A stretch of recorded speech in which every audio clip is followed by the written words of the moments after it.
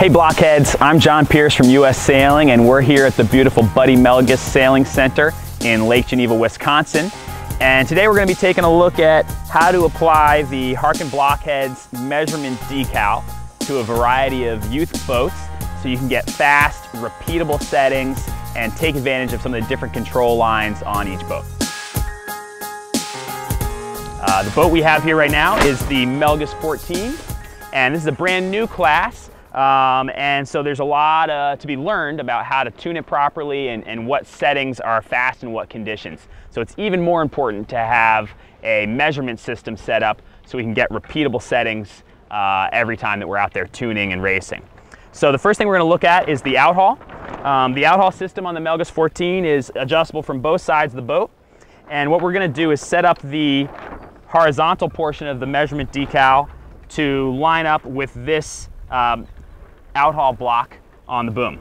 So I'm going to go ahead and peel off the horizontal portion of the measurement decal and line it up so that the middle of the decal is roughly where the uh, outhaul block is located.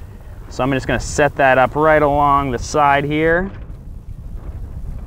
As you can see, the measurement decal now, the base the block is roughly lined up with about the four and a half measurement marking.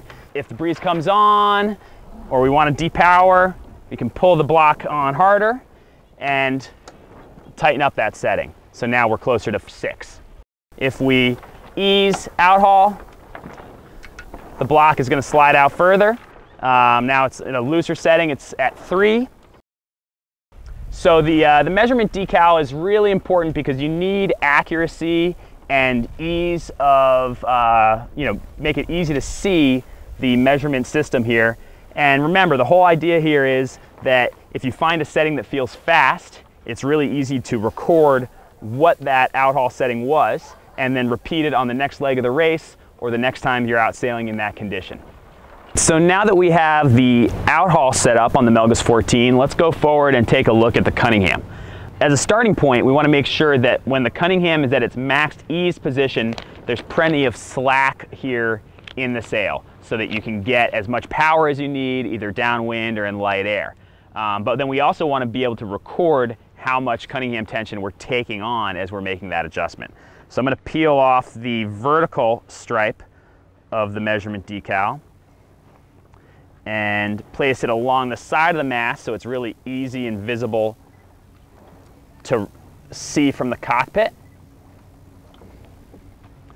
So at this point, we're at a pretty eased uh, setting. So the base of the block is right around the number one there. But as we pull on more Cunningham to depower or flatten the sail, we can track the progress. So now we've pulled on a fair amount of Cunningham and we've gotten the base of the block to a number five. And you know, perhaps if the breeze comes on even a little bit more, we can crank it down to a six in this case. But it's very easy to see the difference in position there um, and track that with those numbers. So the whole idea is that if you feel good, you can repeat that setting easily. And if you need to make an adjustment, you can accurately make a fine tune, let's say go down to a setting number four and record that each time.